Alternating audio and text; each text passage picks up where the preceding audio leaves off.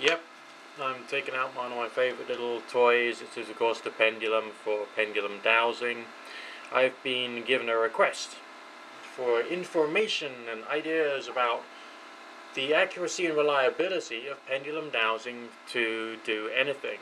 Well, the bottom line here is, and I don't really want to have to bust your bubble, but there's no point in relying upon pendulum dowsing, okay? Uh, there's no point in relying upon any form of divination method. It's there to provide you with another form of inspiration, and occasionally you can get weird things happening. There are many people who do claim that they can get reliable results every single time, that they can find um, dead bodies or you know, missing persons that the police or the FBI or the intelligence services haven't been able to find, just purely with the help of taking a bit of stone and dangling it. If anything that has some kind of um, dangliness about them is that good at, you know, detecting where something is, then obviously there's someone who's a very special, very talented individual. I personally doubt that anyone is quite that reliable when it comes to um, using a pendulum, using dowsing rods, or anything. But strange things do happen once in a while in a um, dowsing or divination type setting, which makes you think, well, maybe something else is going on here. That's as far as it can go.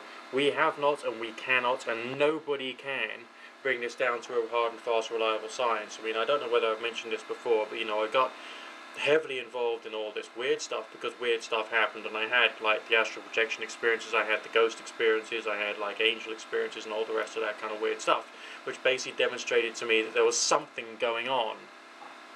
But I didn't quite know what it was. So I was one of those people who was actively out there looking for those people who were the genuine experts. But I came across a lot of people who would say that they're the genuine experts, but basically could not think their way out of a wet paper bag. And if they could think themselves out of a wet paper bag, um, they were using their skills of speech to try and control people for political power, money, uh, just the pleasure of power over, and all other kinds of twisted, fucked up shit. Uh, which is why, although I regard myself as being a member of like New Age culture or communities or using New Age ideas, uh, I don't really see myself as necessarily 100% part of that the movement itself because I'm not trying to sell a movement. I want people to think more intelligently about the phenomena that they are experiencing. Because, you know, as I've said before, strange things do happen, and these strange things say something about us as humans because we can have the you know the ability to have those strange experiences and therefore there's an importance in trying to have them trying to implement them and make them occur but we still don't quite know what they mean so as far as reliability if, if you're the kind of person who would want to rely upon anything of a divination nature, and I mean rely upon it, I think you better have a look at the way in which you're thinking about the phenomenon in question. Alright, it's it's bloody good to train yourself up with. It's great fun. Seriously. And as I say, strange stuff really does happen once in a while. It's and a lot of it will, you know, it could freak you out. But there's no proof positive. And out of all of the experts and all of the investigators, I haven't really come across a good quality argument or a good quality experiment or experience which has proven conclusively that this, that, and the other has happened. Now, I've had plenty of personal experiential evidence, but personal experiential evidence is only good as far as it can go. Namely, it is personal and it's experiential evidence, and it's nothing more uh, more concrete than that. So, you know, get that into perspective. Don't go off into a, a world of fantasy or just believe what some particular pundit on Coast to Coast said at one time or any other person on any like internet radio station or whatever because just because someone says that they are an expert doesn't mean to say they are an expert. And yes, I know I'm setting myself up here on the internet as if I am an expert, okay? But but I'm doing so with a different message, and the message is that I know that there are things that I don't know. Therefore, there's no point in me saying that I have some kind of objective truth.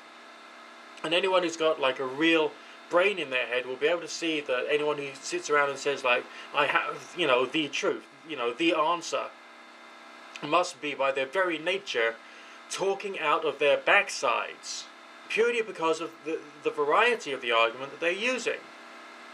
Okay, you've got, you know, to think about this. if someone is that much of an expert, they should have enough, uh, you know, proper hard science behind them to be able to prove this, that, and the other. If, if they don't, then they can fuck off, basically. It, it, it, sorry, I mean, forgive me for my bad language. Seriously, forgive me for my bad language. But I get very passionate when there's imbeciles out there who are destroying this movement which they themselves are a part of or lowering it intellectually to a level which is substandard. It's wrong. Quite frankly, wrong. It's deplorable. Alright? So, know where the limits of investigation are, know where the limits of experience are, and know where the limits of um, ex- explanation to other people.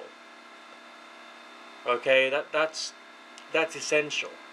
So as far as is there a concrete reliability to any form of divination tool? No. There's just strange experiences that we can have. Yes, with practice, you know, we just try and have more of them.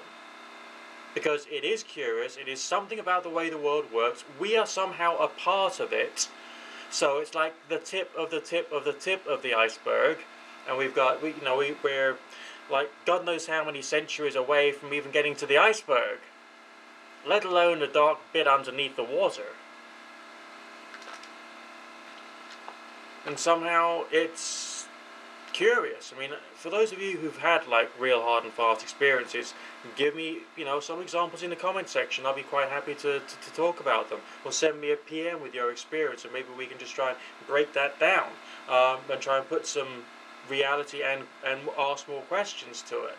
Because I think that would be fun, it would be useful, it would be interesting, and and I think that's the kind of people that you guys are. When people watch my stuff, they don't necessarily watch it because they just want to learn how to become a better believer.